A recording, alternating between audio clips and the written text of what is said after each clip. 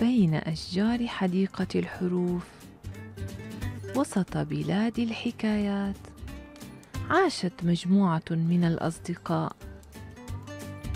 لم يكونوا أصدقاء عاديين. إنهم رفاق لا يستطيعون الفراق.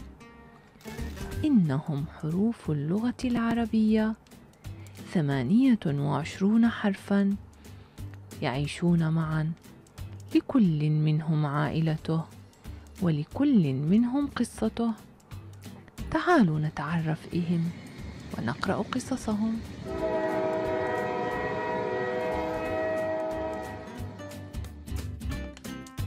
وتشرق الشمس من جديد حاملة معها الدفء والضياء لتعلن بداية مشوارنا لهذا اليوم وترافقنا في رحلتنا إلى قريتنا الجميلة لنتعرف إلى حرف جديد من سكانها. نحن اليوم على موعد مع حرف جديد له شكل غريب وجميل من حروف لغتنا العربية. إنه يسكن في منزل يشبه حبة الفطر. هيا يا مازن كي نتعرف إليه. أجل. منزله جميل جدا. أظنه أيضا جميل الشكل. هيا بنا. أنا حرف الطاء. أهلا بكم في منزلي هذا. لي أربعة أشكال جميلة. نعيش معا بأمان وسلام. الشكل الأول موجود في كلمة بساط. بساط. جئت في آخر الكلمة كاملا منفصلا. هذا هو شكلي الكامل المنفصل. حرف الطاء الكامل المنفصل. أيضا تجدني في كلمة طريق. طريق. ط. ط. أقع في أول الكلمة. لي شكل مقطوع متصل. يأتي في أول الكلمة ويتصل بما بعده. حرف الطاء في أول الكلمة. أما كلمة منطاد منطاد تحتوي على شكل المقطوع المتصل في وسط الكلمة. جئت هنا مقطوعا في وسط الكلمة. أتصل بما قبلي وبما بعدي. حرف الطاء في وسط الكلمة. وفي كلمة شط. شط. ط. ط. جاء شكلي الكامل في آخر الكلمة لكنه اتصل بما قبله. هذا هو حرف الطاء الكامل المتصل. هذا يعني أن عائلة حرف الطاء مكونة من أربعة أشكال جميلة. حرف الطاء الكامل المنفصل. حرف الطاء المتصل في أول الكلمة. حرف الطاء المتصل في وسط الكلمة. حرف الطاء الكامل المتصل في آخر الكلمة. يكتب حرف الطاء على السطر بهذا الشكل. الكامل المنفصل. في أول الكلمة. في وسط الكلمة. في آخر الكلمة متصل. هناك الكثير من الأسماء حولنا تحوي حرف الطاء. فمثلا هذه الطيور الجميلة. كلمة طيور جاء حرف الطاء في أولها. وكلمة مسطرة فيها حرف الطاء في وسط الكلمة. متصل بما قبله وبما بعده. أخطبوط فيها حرف الطاء في وسط الكلمة وأيضا فيها حرف الطاء في آخر الكلمة منفصل لم يتصل بما قبله لأنه سبق بحرف الواو. الأخطبوط حيوان مائي غريب الشكل له ثماني أذرع. يتغذى على الأسماك والحيوانات المائية الدقيقة. حائط. هنا جاء حرف الطاء في آخر الكلمة متصل بما قبله. وطواط. وهو اسم آخر للخفاش. فيه حرف الطاء في وسط الكلمة لكنه لم يتصل بما قبله. وفيه أيضا حرف الطاء في آخر الكلمة منفصل لأنه سبق بحرف الألف. هذه نافذة الحكاية. ستأخذنا معها اليوم في رحلة عن حرف الطاء. فهيا لنستمع ما تخبئه لنا في جعبتها. في قرية صغيرة وجميلة يسكن طحان صغير في مطحنته الجميلة. إنه طارق. يطحن حبات القمح لتصبح طحينا. نصنع منه الخبز والمعجنات. الطباخ طريف يشتري كل الطحين من طارق ويصنع منه كعكة وفطيرة لذيذة. ويبيع هذه الفطائر في دكانه القريب من الطريق.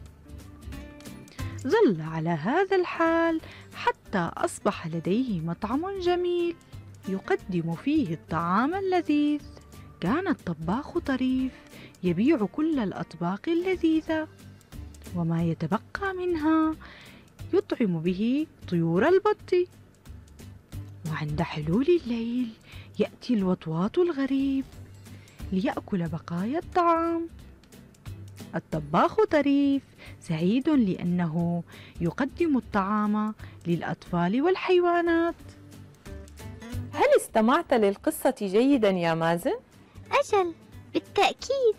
هيا حدد لنا الكلمات التي سمعت فيها حرف الطاء. سأحاول تذكرها كلها. طحين. مطحنة. فيها طاء في وسط الكلمة. الطباخ طريف. فطيرة. مطعم. طيور البط. الطعام. أظن أني ذكرتها كلها. هيا بنا نكمل طريقنا مع حرف الطاء مع المدود. أولا المدود القصيرة. ط. ط. طبل. طبل. ط. ط. طيور. طيور. ط. ط. طفل. طفل. حرف الطاء مع المدود الطويلة؟ طا طا طائرة. طائرة. تو. تو. فطور. فطور. طي. طي. فطيرة. فطيرة أما حرف الطاء الساكن فيلفظ ط كما في كلمة مطرقة جاء حرف الطاء ساكنا في وسط الكلمة. وهنا حرف الطاء المشدد ونسميه المضاعف. الحرف المضاعف هو حرف مكرر مرتين مرة ساكن ومرة متحرك. استبدل بحرف عليه الشدة أو حركة التضعيف. كلمة بطة تحوي حرف الطاء المضاعف في وسط الكلمة. أصلها طاء ساكنة وطاء مفتوحة. بطة ط. طبل. طا. طائرة. طيور تو فطور ط طفل طي فطيرة سأذهب من هنا كي أحلل الكلمات وأركب الحروف للحصول على كلمات صحيحة. كلمة طريق مكونة من حرف الطاء مع الفتحة حرف الراء ثم حرف الياء ثم القاف. طويل. حرف الطاء ثم حرف الواو. يليها حرف الياء وآخرها حرف اللام. كلمة بلوط فيها حرف اللام المضاعف. تتكون من حرف الباء المفتوح حرف اللام الساكن حرف اللام المضموم ثم مد الواو ثم أخيرا حرف الطاء. هيا يا مازن لنساعد هؤلاء الأطفال في حل اللغز من خلال تركيب مجموعة من الحروف للحصول على كلمات صحيحة. بكل سرور كم أحب حل الألغاز. لدينا هنا حرف الميم ثم النون ثم الطاء ثم مد الألف ثم الدال. تصبح الكلمة منطاد إنه منطاد وإلى أسفل حرف الميم يظهر حرف الطاء ثم الراء. كلمة مطر. المطر يهطل بغزارة. أما هنا من اليمين باتجاه اليسار. حرف الطاء ثم الباء. ثم الشين ثم الواو ثم الراء. آه إنها كلمة طبشور. آخر كلمة تبدأ من الأعلى. حرف الفاء ثم الطاء ثم الراء. سهلة جدا. ستر. كم هي جميلة؟ الحمامات تحمل لنا ثلاثة حروف. الأول هو حرف الطاء والثاني يحمل الفاء والثالث يحمل اللام. طفل. سأحاول تسمية الصور التالية. هذا مستطيل. مستطيل. قطار. قطار. طحين. طحين وصلنا الآن إلى تحليل الكلمات إلى مقاطع صوتية. عند التحليل إلى مقاطع لنتذكر دائما قواعد التحليل. أولا حرف ساكن مع حرف متحرك يسبقه. ثانيا الحرف مع مده الطويل في مقطع. ثالثا عندما تأتي الكلمة على شكل حروف ممدودة بمد قصير. يأتي كل حرف مع مده القصير في مقطع. هنا كلمة طالب مكونة من مقطعين اثنين. حرف الطاء مع مد الألف في مقطع وحرف اللام مع حرف الباء في مقطع ثان. طالب. كلمة طاووس مكونة من ثلاثة مقاطع. تا و عند تحليل الكلمة إلى مقاطع لنتذكر أن علينا أن نعيد الحرف المضاعف إلى أصله. حرف ساكن وحرف متحرك.